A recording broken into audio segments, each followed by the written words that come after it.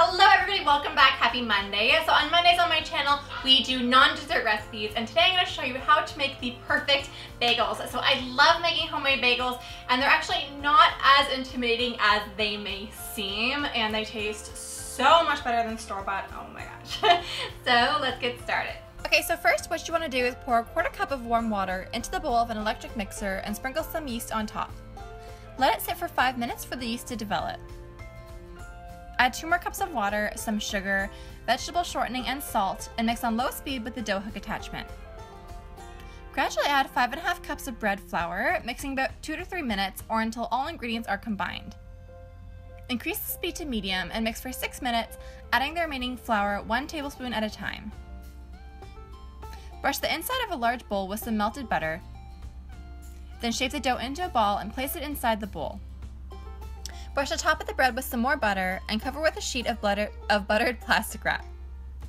Place a towel on top and allow the dough to rise at room temperature for one hour.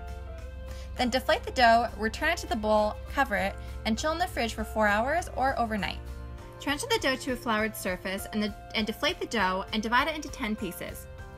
Knead each, knead each piece, I can't speak today, several times to activate the gluten in the bread and form it into a tight ball.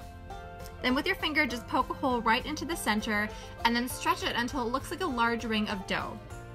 And these are gonna look way bigger than you want your bagels to be, but that's okay. Transfer the bagels to a baking sheet lined with a floured dish towel and cover them with an additional dish towel. Bring a large pot of water to boil and add some sugar and baking soda. Place the bagels into the boiling water and boil for one and a half to two minutes and then flip over and boil for an additional one and a half to two minutes on the other side.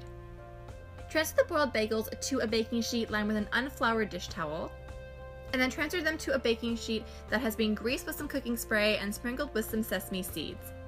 And if you don't like sesame seeds on the base of your bagels, you can use anything that you like. You can use cornmeal or you can use um, poppy seeds or anything that you like.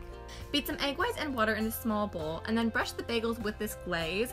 And if you like, this is when you add your bagel toppings. So I added some sesame seeds because sesame bagels are my favorite. But again, you can use poppy seeds, you can use anything that you like. And you also want to prep a small glass and place a couple ice cubes, like four ice cubes in the glass and a quarter cup of water. And so what you're gonna do is set your oven to 500 degrees Fahrenheit, pop the bagels in, and before you close the door, toss the ice cubes and the cold water into the base of the oven and bake for 25 minutes. And so this is going to create steam, which is going to help steam the bagels and give them that delicious bagel consistency. Then after they bake for 25 minutes, turn off the oven, keep the bagels in the oven for an additional five minutes. Then open the oven door, leave the bagels in the oven for another five minutes, and you are done. So thank you guys so much for watching. I hope that you like this recipe. Um, if you haven't yet, please hit the subscribe button and ring that notification bell so you're notified when my next video goes live, which is tomorrow because I upload every single day from Monday to Friday. Also, if you haven't yet, please check out my chocolate shop on Etsy. Um, we have some new Nutella and caramel flavors in stock right now and they are so good. Oh my gosh, if you love those chocolates and you want to try them out, um, definitely head, definitely click the link here. It will be on the screen here. Anyways, thank you guys so much for watching and I will see you tomorrow. Bye! this is like the noisiest thing. My timer's going off. My god. Oh, noisiest video ever. But anyway, the bagels taste good